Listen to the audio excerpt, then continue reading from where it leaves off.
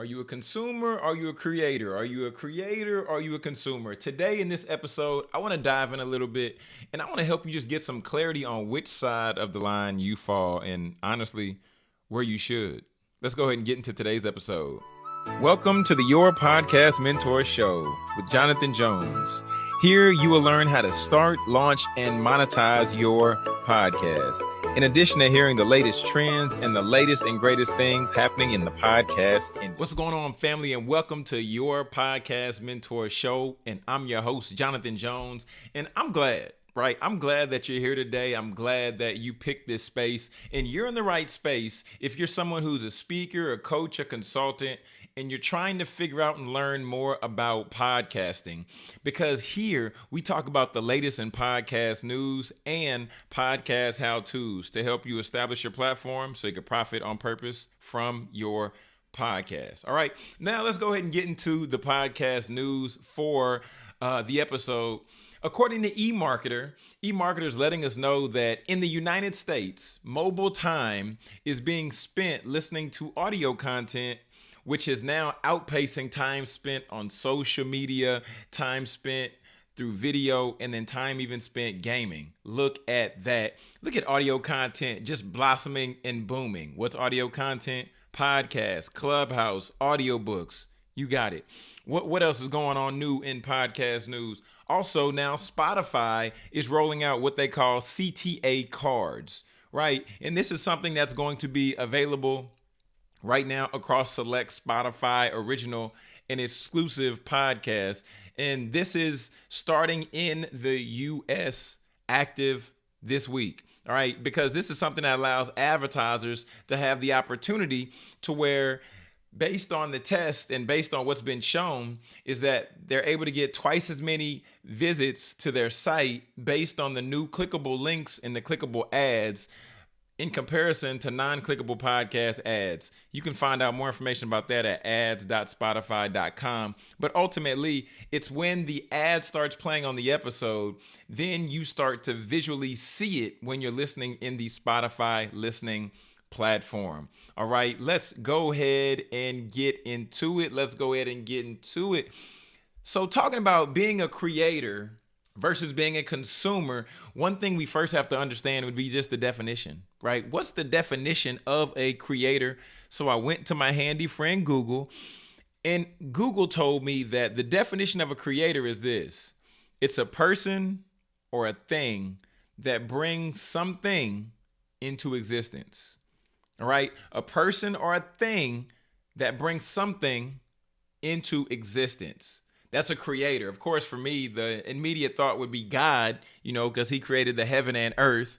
Okay, so that's a given, duh. So when we talk about a creator, if we're talking about a creator in the sense of like a podcaster or a speaker or an artist, this is an individual who is taking something and then putting it together and then they're formulating something different. And then I want to look at the parallel a consumer when I hear this, the first thing I immediately think of is like consumer shopping or consumer reports where people are talking about and reviewing items that they may or may not have purchased, right? So, the definition of a consumer is a person or a thing that eats or uses something. And I chose this definition on purpose because I want to give you a clear visual. A person or a thing that eats or uses something. Okay. But before we dive into this content, I want to let you know if you're a speaker, if you're a coach, if you're a consultant, make sure that you go to getpaidwithpodcasting.com. You can go to getpaidwithpodcasting.com and there you can register for our free webinar. We've got a free training coming up where I'm going to dive in and I'm going to show you how you can leverage podcasting to establish your authority, to explode your leads, and to help you generate revenue even with a small audience. Once again, that website is getpaidwithpodcasting.com. We'll have that link down in the show notes. Now let's get back to the show. As we talk about a consumer and we parallel it with the creator, the thought I want you to begin to think about is is this, and I'm gonna I'm gonna share a personal story. For me, I just thought about me eating candy, And I thought about me eating candy because I love Swedish fish. I love circus peanuts. If you ask my wife, she'll tell you I love anything sweet. And the thing I realized that when it came to candy, I am the biggest consumer possible because I open a bag of candy and then it will disappear shortly thereafter. And the thing that I always come to the realization of after I eat the whole bag of candy is that my stomach hurts. I come to the realization like, man, I don't know why. I don't know why I ate the whole bag. And I know why I ate the whole bag because it's instant gratification. When we consume candy, when we consume courses, when we purchase new things, new products, new equipment, it makes us feel good in the moment consumer mindset. You feel great in the moment. You feel great when you, you know, get to go home and look at the new microphone or the laptop or whatever it might be. But then when that bill hits and you have to pay, you don't feel as great about it later. John, what are you saying?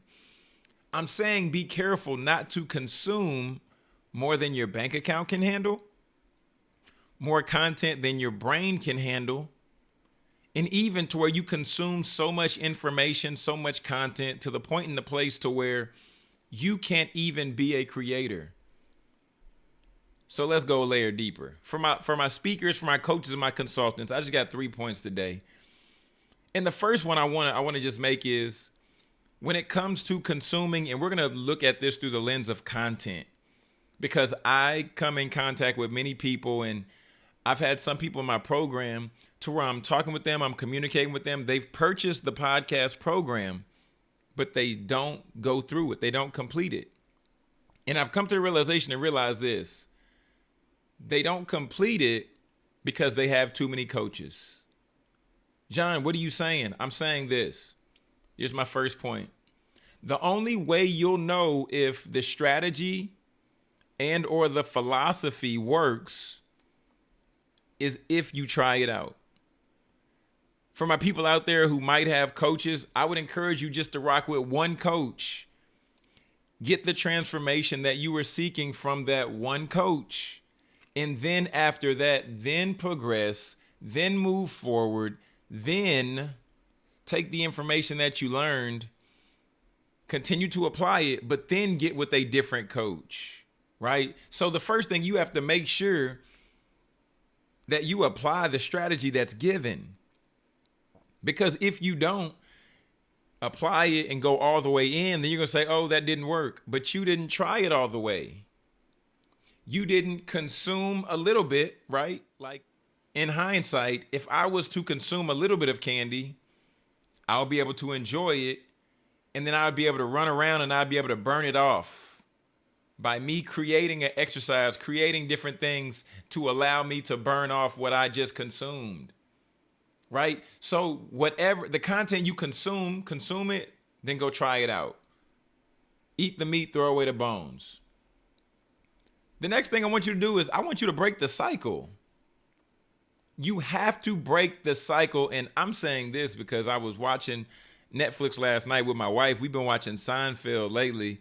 And the thing that is so funny is that after they play the episode, they prompt you and say, press play for the next episode, and then it counts down from five, four, three, two, one. Break the cycle by way of rewarding yourself with an episode here, an episode there. Take control of the decisions that you're making. Break the cycle, right? Maybe take time and binge record some episodes for your podcast, then go take a break break the cycle. Because if we don't break the cycle in this way, we will continue to consume, consume, consume, consume, consume. And then we'll never get to the place to where we implement the strategy that worked, which would help us to create.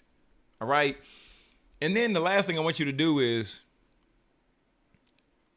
always return to the goal always return to the goal. And I'm saying that because I'll let you all in. One of my goals this year is to put content up on YouTube every day. If you want the latest in podcast news, and you want podcast how to's in 60 seconds or less, you need to subscribe to my channel because every day I'm putting up a reel.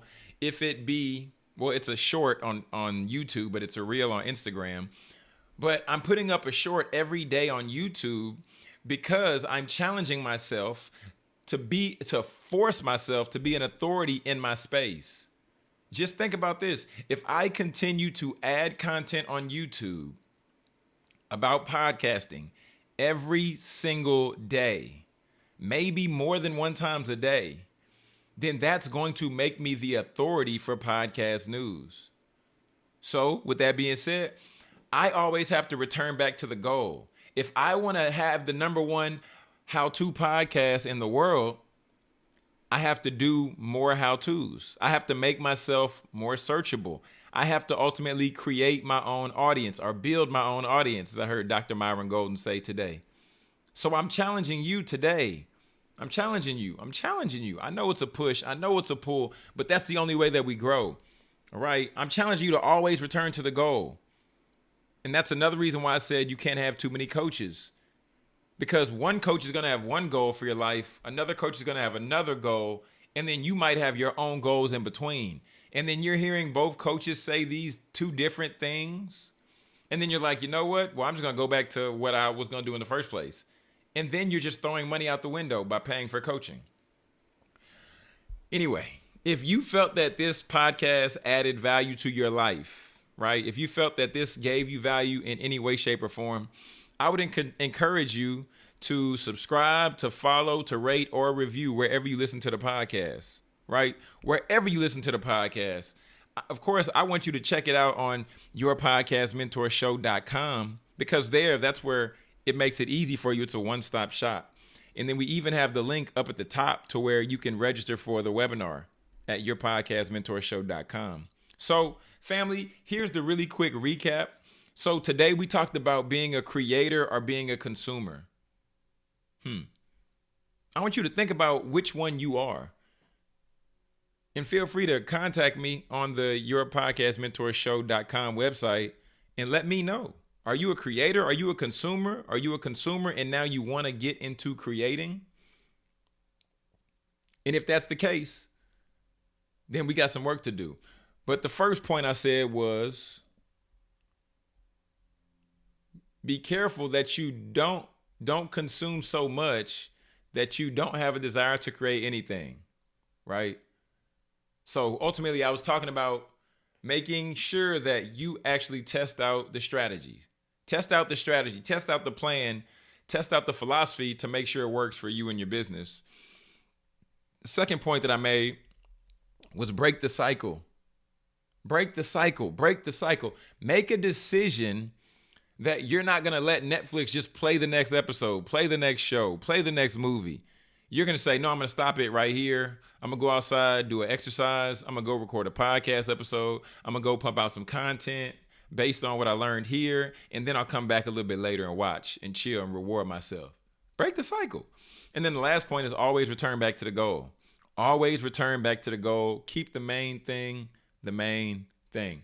Family, it's your podcast mentor, Jonathan Jones. I appreciate you and I'm grateful for you taking the time to rock with us on this episode of the Your Podcast Mentor Show.